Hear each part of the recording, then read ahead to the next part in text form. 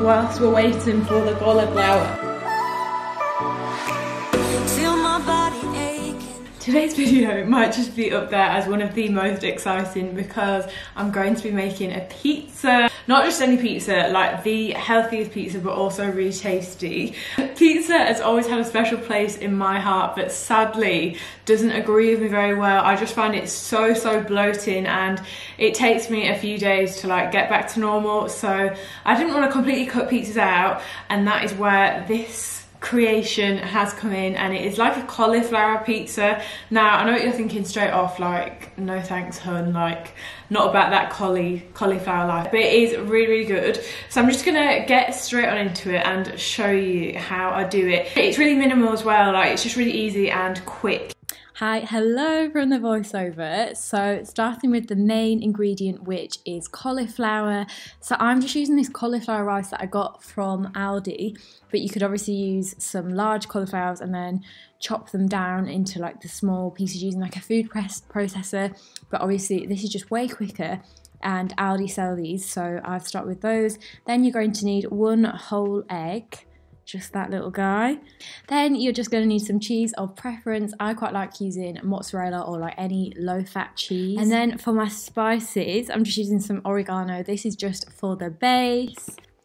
And the first step is just to microwave and cook the rice. I'm doing this for about five minutes and I'm just taking it out every like minute or so and shaking it round. The best thing with this, like you can use cauliflower florets or what I've done, the quick and easy way, just some cauliflower rice. I got this from Aldi um, and yeah, this just saves so much time rather than using like a food processor to cut down the cauliflower.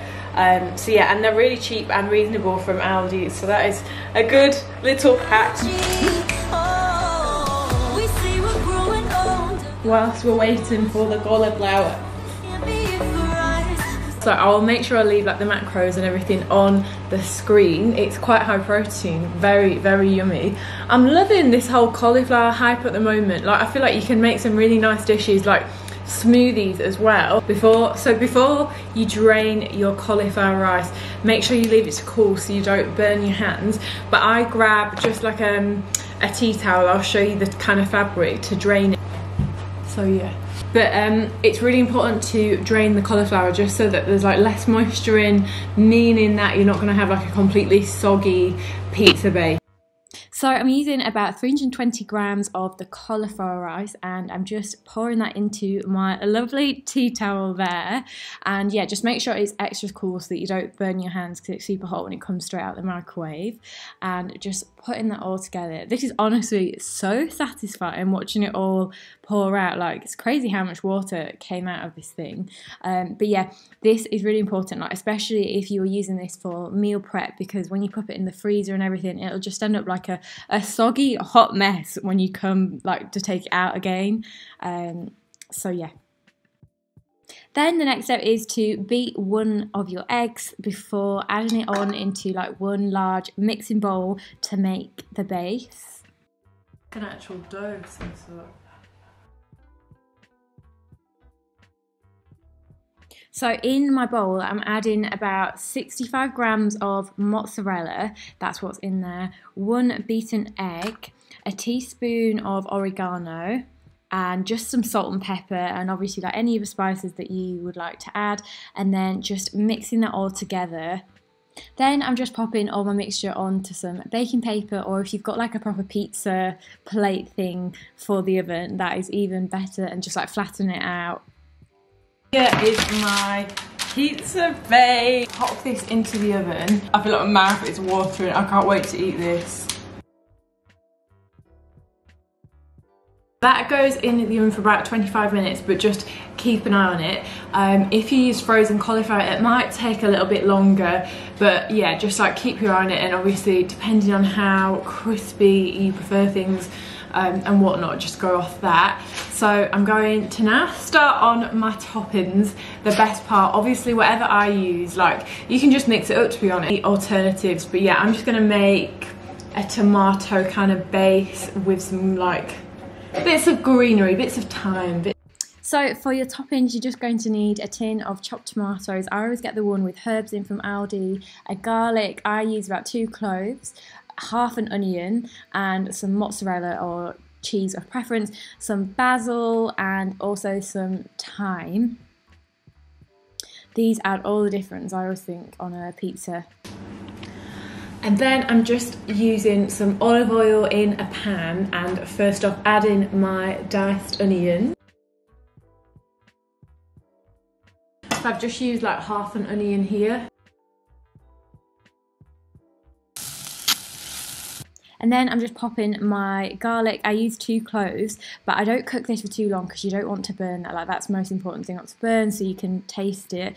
And then I'm just popping my chunky tomatoes in with the cooked onions and everything, giving that a stir and leaving that on a low heat and then getting my thyme ready and just peeling this off. This is like oh, so tedious doing this sort of it and chopping that into like really fine pieces um, obviously, just add as much as you like before popping that in, and then stirring that around, leaving that to simmer just for a few minutes, and getting my basil ready. I just chop this into like really fine little bits. It's quite strong, I find, um, and popping that in lastly into my thing, and then my pizza base is finished and ready. How good does that look?